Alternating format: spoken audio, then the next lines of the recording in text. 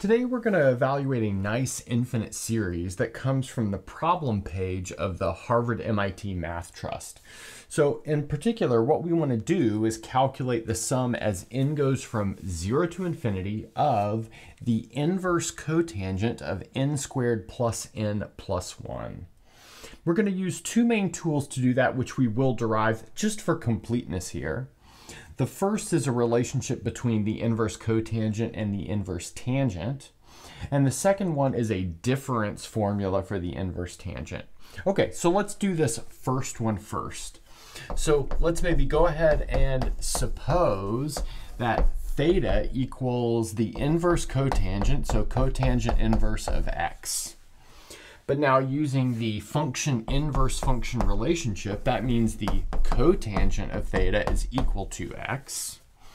But then by the definition of the cotangent as 1 over the tangent, that tells us that the tangent of theta is 1 over x, which applying the inverse function tells us that theta is equal to the arctan of 1 over x. But now gluing these two equations together at the theta gives us our result.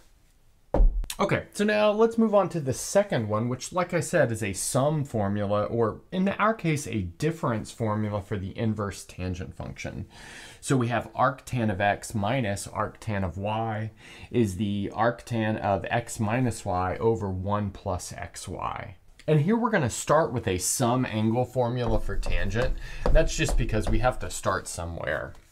So let's use the following sum, or I should say difference angle formula, that the tangent of alpha minus beta is equal to the tangent of alpha minus the tangent of beta over 1 plus the tangent of alpha times the tangent of beta.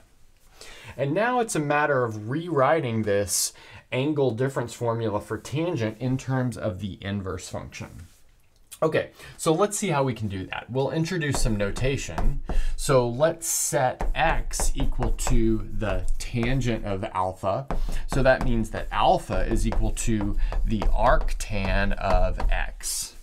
And then furthermore, we'll have y is equal to the tangent of beta. That tells us that beta is equal to the arctan or the inverse tangent of y. And then from there, we'll take our identity up here and we'll apply the inverse tangent to both sides. And as we apply the inverse tangent to both sides, we'll make the following substitutions. So applying the inverse tangent to the left-hand side will leave us with alpha minus beta because of the function inverse function relationship. But alpha is arctan of x and beta is arctan of y, so that leaves us with arctan of x minus arctan of y. And then we can apply the inverse tangent to the right-hand side as well, while we make the following substitutions for tangent of alpha and tangent of beta. So this will give us the arctan of x minus y over 1 plus xy. And that's of course because x is tan alpha and y is tan beta into this expression up here. Okay, Okay, so now that we've derived these two tools, it's just a matter of putting them together in order to find the closed form for this sum. So we'll start with this first tool. So we can express this as a sum of the inverse tangent instead of the inverse cotangent.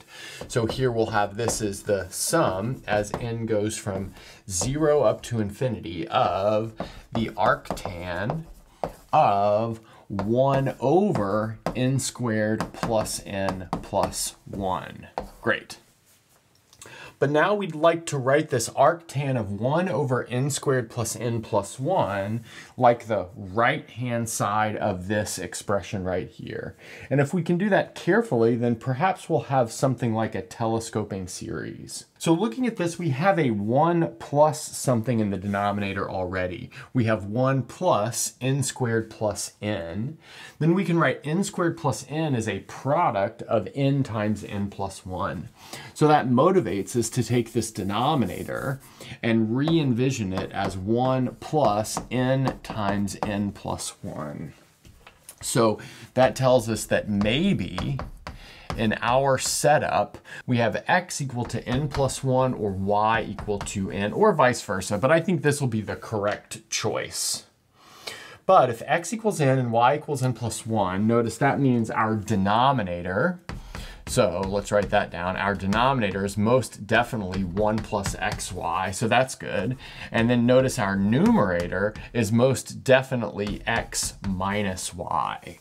And that's because n plus 1 minus n is just 1. So let's take this numerator and write it as n plus 1 minus 1. And now we can apply this difference condition kind of in the reverse direction with our new setup. So that's going to give us the sum as n goes from 0 up to infinity of the arctan of x, but that's n plus 1 in this case, minus the arctan of y, but that's going to be the arctan of n. So we have something like that.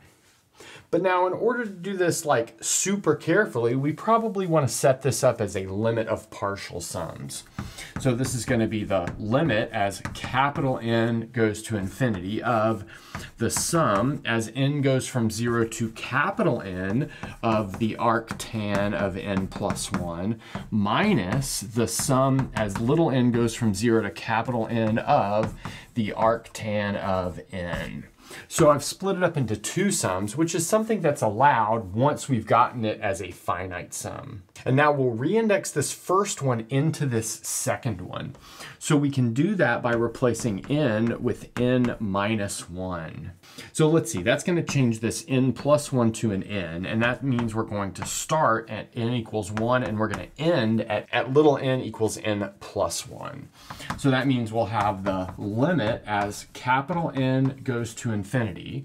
I'll take the top term out, so that'll be the arctan of capital N plus 1, and then we'll be left with the sum as n goes from 1 up to capital N of the arctan of little n. So just to reiterate, this is what happened after we re-indexed this first sum and pulled the top term out of this first sum. Now, we don't need to reindex the second sum, but we do need to pull out the bottom term because notice we've created something that goes from 1 to capital N, whereas this goes from 0 to capital N. So we'll pull out the zeroth term, which is the arctan of 0. So that's attached to a minus sign. So we have minus arctan of 0, and then we'll have minus the sum as little n goes from 1 up to capital N of arctan of n. And just to reiterate, that's what we've gotten from expanding this. Well, really, we just pulled out that first term. But now we've got an obvious cancellation. This sum right here, this sum right here are exactly the same, but with opposite signs.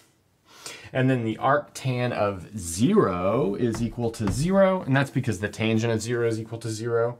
And we're left with the limit as n goes to infinity of the arctan of n plus one but the horizontal asymptote to the right for the inverse tangent function is well known to be pi over 2. So that gives us our final value of pi over 2. So I've done other problems on the channel where we calculate certain nice infinite sums. So there should be one on the screen right now if you want to check it out. And that's a good place to stop.